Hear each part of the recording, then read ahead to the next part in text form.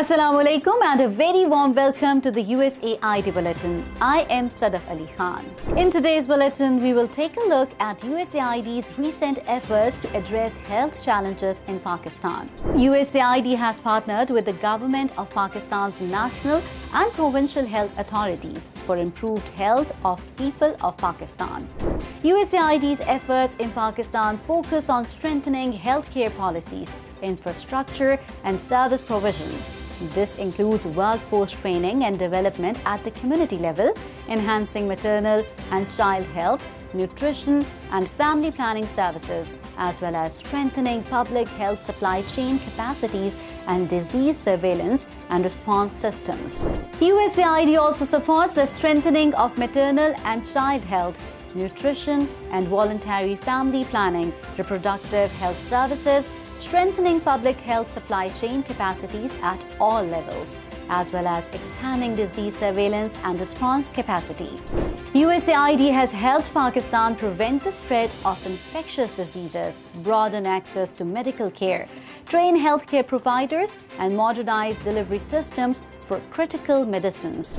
This includes support for national and provincial tuberculosis program to improve prevention, detection, and treatment of TB, strengthen management of drug-resistant TB, advance laboratory capacity, and engage local organizations to strengthen social support services. Pakistan ranks fifth among countries with the highest rate of TB. USAID's support for the government's national and provincial TB programs has been crucial in improving prevention, detection, and treatment of the disease in the country. USAID Pakistan, in partnership with the government of Sindh, recently launched the Tuberculosis Local Organization Network, TB LON. US Ambassador to Pakistan Donald Blome and Sindh Minister for Health and Population Dr. Azra Fazal inaugurated the project.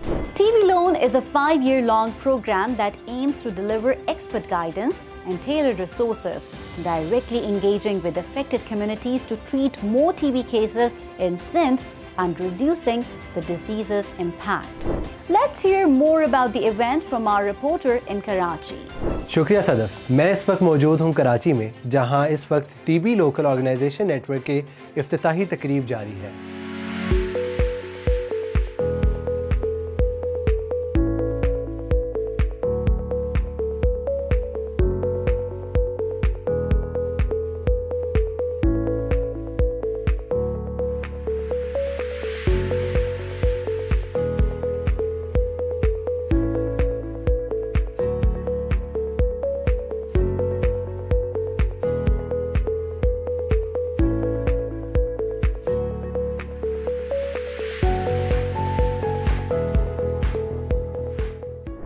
At the event, Ambassador Blome highlighted the strength of the US Sindh partnerships, stating tuberculosis it's not just a disease affecting millions in Pakistan, it's an illness that disrupts lives, livelihoods, and communities.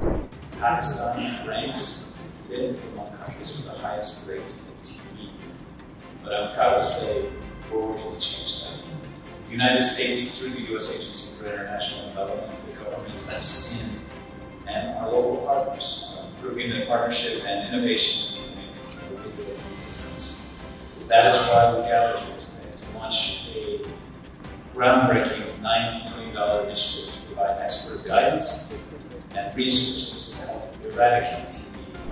Sindh Health Minister Dr. Azra also highlighted the importance of joint efforts in addressing critical health challenges, stating, We are confident that our joint efforts in addressing critical health challenges will bring a positive change in the lives of people of Sindh.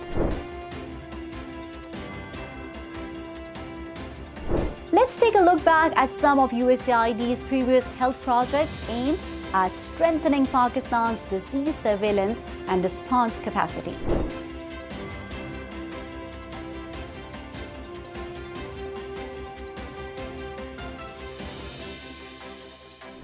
With this, we come to the end of the bulletin. Thank you for joining us. Stay tuned for more. See you next week. Allah Hafiz.